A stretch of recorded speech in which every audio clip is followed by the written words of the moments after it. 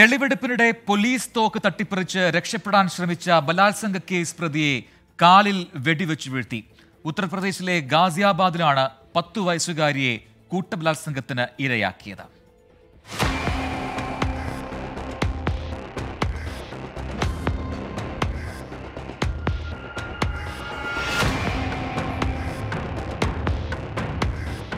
പത്ത് വയസ്സുകാരിയെ കൂട്ടബലാത്സംഗം ചെയ്ത കേസിൽ അറസ്റ്റിലായ നാസിമാണ് തെളിവെടുപ്പിനിടെ രക്ഷപ്പെടാൻ ശ്രമിച്ചത്. കുട്ടിയെ പീഡിപ്പിച്ച സ്ഥലത്തെത്തിച്ച ഉടൻ പ്രതി പോലീസിന്റെ തോക്ക് തട്ടിപ്പറിച്ച് വെടിയുതിർക്കുകയായിരുന്നു. തിരിച്ചടിയിലാണ് പ്രതിയുടെ രണ്ട് കാലിനും വെടിയേറ്റത്. ഇയാളുടെ കൂട്ടാളിയെയും പീഡനക്കേസിൽ പോലീസ് അറസ്റ്റ് ചെയ്തിരുന്നു. ഡിസംബർ പത്തിനാണ് ഗാസിയാബാദിലെ ലോണി എന്ന സ്ഥലത്ത് പത്തു വയസ്സുകാരിയെ കൂട്ടബലാത്സംഗം ചെയ്തത്. രാത്രി ഏഴ് മണിയോടെ വീടിനടുത്തെ വിവാഹ ചടങ്ങ് കാണാൻ പോയതായിരുന്നു കുട്ടി. മടങ്ങാൻ നേരം പ്രതികൾ വീട്ടിലിറക്കാമെന്ന് പറഞ്ഞ് കാറുമായി കുട്ടിയെ സമീപിച്ചു. കാറിൽ കയറിയ കുട്ടിയെ ആളൊഴിഞ്ഞ കാട്ടുപ്രദേശത്തെത്തിച്ച് പീഡിപ്പിച്ചു. ശേഷം ഇവരുടെ കാറിൽ തന്നെ വീടിന് സമീപത്ത് ഉപേക്ഷിച്ച് കടന്നുകളഞ്ഞു. നടന്ന സംഭവം രാത്രി പെൺകുട്ടി ആരോടും പറഞ്ഞില്ല. പിറ്റേന്ന് ആരോഗ്യനില വഷളായതോടെയാണ് അമ്മയോട് വിവരം പറയുന്നത്. പോലീസ് അന്വേഷണത്തിൽ പെൺകുട്ടി പ്രതികളെക്കുറിച്ച് നൽകിയ മൊഴിയാണ് നിർണായകമായത്. പ്രതികളിൽ ഒരാളുടെ പത്ത് വിരലുകളും രോഗം വന്ന് വികൃതമായ രീതിയിലായിരുന്നു എന്നാണ് മൊഴി. തുടരന്വേഷണത്തിലാണ് അൻപത്തെട്ടുകാരനായ സാക്കിറും മുപ്പത്തിരണ്ടുകാരനായ നിസാമും പിടിയിലായത്.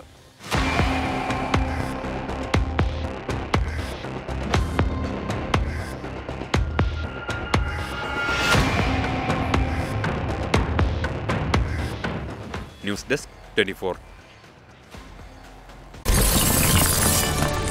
24 അഞ്ചിന്റെ വജ്രത്തിളക്കം.